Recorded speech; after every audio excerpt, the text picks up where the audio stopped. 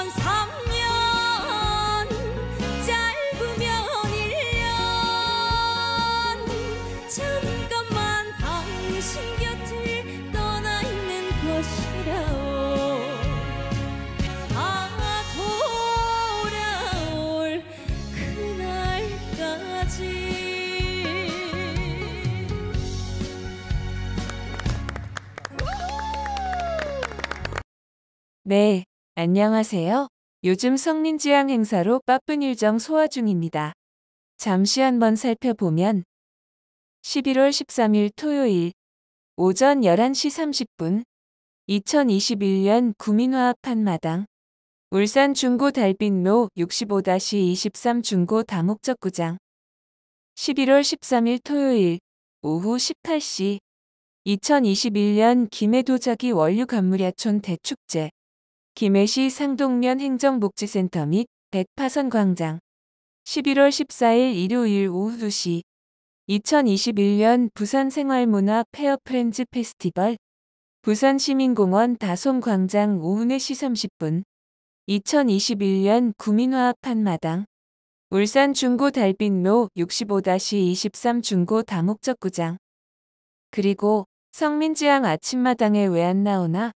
많이들 궁금하셨죠? 11월 24일부터는 다시 출연하여 2승에 도전하니까 다시 한번 많은 성원을 바랍니다. 지금 현재 아침마당이 기획행사 중에서 한 달간 특집 방송을 하는 듯 합니다. 변함없는 성원에 항상 감사하며 언제나 최선을 다하는 트롯소녀가 되겠습니다. 감사합니다.